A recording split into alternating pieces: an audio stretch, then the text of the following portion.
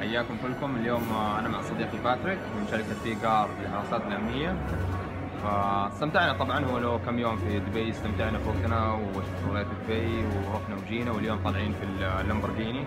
ف يلا نترياكم تيجوا دبي كلكم.